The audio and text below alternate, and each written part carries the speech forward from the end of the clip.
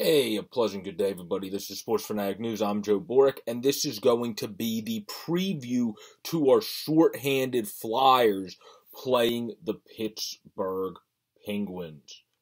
Um, of course, the shorthanded Philadelphia Flyers, uh, according to the great Jamie Baskow of Flyers Nitty Gritty, check out his work, are going to have Farabee, Lord, and Atkinson. Of course, I should stop saying these as first because lines, they kind of just intertwine and swing. It's not the same as it was back in the day with true first, second, third, fourth. But Brassard, Frost, JVR, Bunnaman in the lineup again add a little bit more jam against the Pittsburgh Penguin rival Penguins. That actually makes sense to me. Obviously, it seems like Yeo's a guy that implements a little bit more speed than he does the jam at times.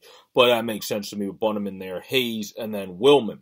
Lindblom, Brown, and MacEwen then rounds out the lines. Your York, excuse me, and Braun yet again. Zamula and Risto talk about a physically um, enticing line. Uh, Zamula and Risto and a very um, well, what's the right word? Uh, a very daunting line for the opposing team, I guess to say, and a very scary line for the opposing team to coming at you size wise.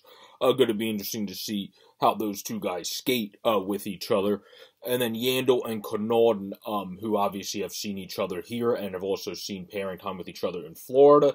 They've looked okay together. I think they picked up Connauton thinking maybe Yandle would get going a little bit squeakier because he's seen a little bit more time with them. He's looked okay with them.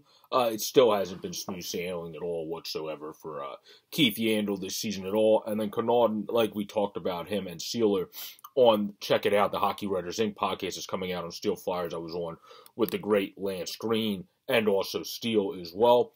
Um, it's he's Connauton and Seal are just seventh defensemen, and they're getting overplayed a lot, and we're seeing the uh, repercussions from having to overplay those guys a lot. If Big Z comes in, has a very good debut, is he fully ready to be up? Probably not, but nobody is ever 100% ready to fully be up. We saw York where some, some of the concerns for him were obviously the physicality. Well, obviously uh, he was able to have a couple blocks and a couple hits in his first game. So not much of a concern for him to still have to grow. If he's looking this good in this game against a rival, you have to keep him in the lineup. If Big Z looks great against a rival, I would almost say at that point, um, he starts to move up, and he is definitely your seventh defenseman at the very least at that point if you're not keeping him in the lineup rather than the Seelers and the um and it's nothing against those guys. They're solid for what they do. Seventh defenseman being physical, being able to Connauton more so being able to get the shot on net and be a little bit more offensive if you look at his pro career as a whole between the NHL and AHL.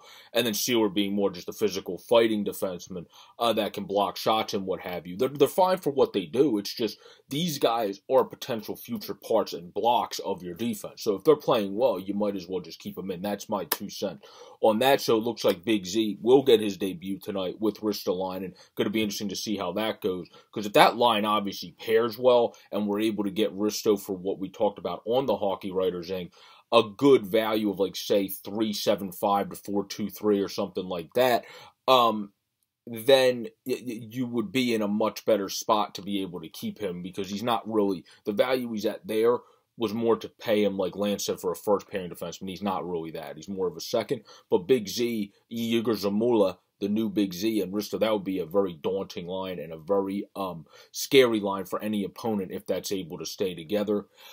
And then York and Braun looked good in their first game, I thought. Uh, Yandle and Connauton is the line that has to pick up uh, the pace, or Yandle and Seeler, really, those lines in general, the, that line in general, no matter which grouping it is, uh, need to pick up the pace. And then Carter Hart is going to get the start uh, tonight for the Philadelphia Flyers.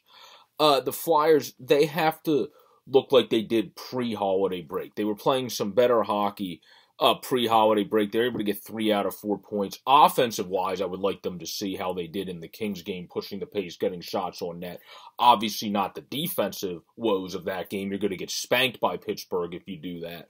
But offensive wise, I want to see what they were able to do in that game. Get the shots on net, push the pace, uh, move better in that game. That was one of their better play games offensively. I don't think it was one of their better play games as a whole, but offensively, it's just they weren't able to get enough past uh, Jonathan Quick, who's having an absolutely stellar season. But pre-break, we played our Achilles heel team, the Devils, well. Uh, we played obviously it's Ottawa. Ottawa's Ottawa. We played Ottawa well, but we also played the Vegas Golden Knights well. If you can play in games like that where you're able to I mean, we didn't play them great. We gave up like 45 shots if I remember correctly, but you battled and you were able to get the win. So if you're able to do that, that's kind of the game, the reason I point out that Vegas game. With how short-handed we are, the Phantoms, our AHL equivalent, obviously our AHL affiliate, were able to battle to come back against Hershey from 3 0 yesterday to get one point. They were really short-handed, obviously with all the guys up with the Flyers, but also Ratcliffe and um, O'Reilly and also Sushko were on COVID protocols right before the game. Well, the Flyers have a plethora of guys on COVID protocols. So that's why I'm kind of pointing to that game. How they had to battle and scratch and claw, but still beat a very solid Vegas team and a very good Vegas team that I think is still going to be a cup contender once all people come back. Um, it is a is a very good game to point to because I think that's the scratch and claw type of win they would have to get today. I'll be surprised if the Flyers come out and absolutely spank Pittsburgh because Pittsburgh's the hottest team in hockey right now and um, the Flyers are so short-handed. Pittsburgh's won nine in a row, in a row, and Crosby is on absolute fire. Uh, he has been dynamite, so I'd be absolutely shocked if they come out and spank them. Uh, which I don't see happening. This is going to have to be one of those battle brewing games, particularly if Tristan Jarry is in as well, because he's been Vezina caliber this year. Uh, so if he's in, this is really going to be a battle game. If they give us uh, DeSmith, who was good last year, not so good this year, then yeah, that'll make it a little bit easier uh, to try to push the pace like the Flyers did offensively in that Kings game. And then they're just going to have to try to have the battle mentality that they did in that Vegas Golden Knights game, a lot more shorthanded, obviously, than they were in that game. But this is going to be a battle. It's going to be a brute battle similar to how the Phantoms had to battle against the Bears so shorthanded yesterday. The Flyers are going to have to do that against their rival, the Pittsburgh Penguins, this evening to be able to try to squeak one point out of this game because there's no chance in this game I'm coming into this thinking the Flyers are winning.